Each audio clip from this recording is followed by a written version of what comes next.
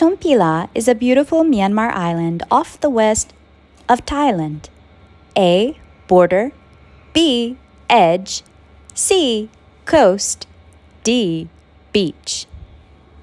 If you chose C, you are correct.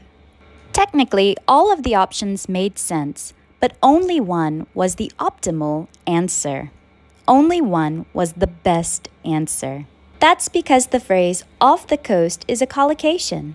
Remember, a collocation is a group of words that belong together and make sense together in natural English. Let's look at a few more examples with the collocation off the coast. They will build an oil platform off the coast. Off the coast of Maine, there is a beautiful lighthouse.